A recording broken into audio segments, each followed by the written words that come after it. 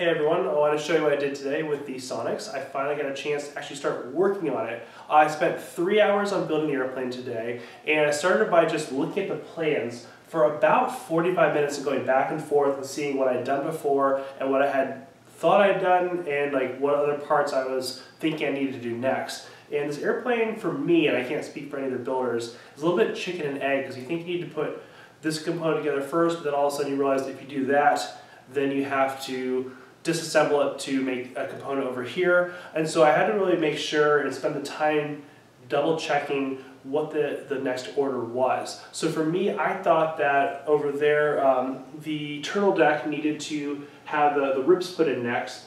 But the truth of the matter is, what I really wanted to do was take the time to put in all of these um, uh, holes here with these spacers to make sure that uh, this particular longeron on both sides was 100% in place and sturdy. Once I got these pieces in, I went ahead and decided to work on the shoulder harness uh, webbing here. So right here on both of these two places is where you'll bolt in the shoulder harnesses for the occupants. And this is also a strengthening device for the actual airframe. So it makes it super, super solid. Um, it was interesting beforehand, it was reasonably solid. Now it is rock solid. And uh, while I was going at it, I went ahead and found out where this particular web right here fits in.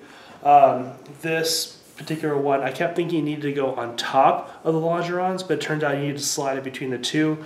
Uh, the Sonex plans are extremely well done. However, sometimes it's just hard to, to figure out what they're trying to say with it.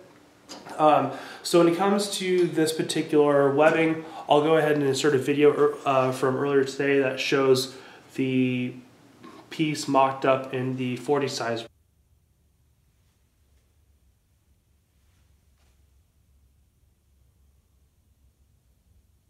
So once that was done, I went ahead and I drilled it from the 40 to the 30 size, and then I pulled it all apart. I took my dimple dyeing tool, or not my dimple dyeing, I took my um, deburring tool and I deburred all the holes on all sides. It took quite a while to do that and um, got to the point where it was completely clean. I cleaned it with my lacquer thinner and then I went ahead and painted all sides with my self-etching primer.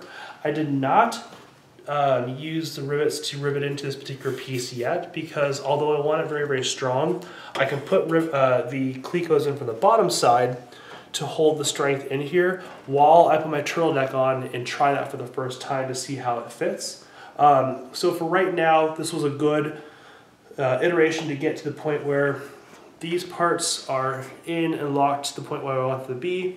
The webbing is here. This is probably what I'm going to be working on next, but theoretically, who knows, because I need to go reread the plans again. This particular piece is a, a very thick piece of 6061 T6 aluminum, and they had you bend it upwards just a slight amount so that way when you put your bolt in holding the upper part of the shoulder harness, it will sit properly and, and not bump into anything else. And so I had to bend it about five degrees. And I brought my bending breakout. Here it is now. Uh, what I did, uh, I'll go ahead and show a little video of what I did for the bending brake so you can see what I did earlier.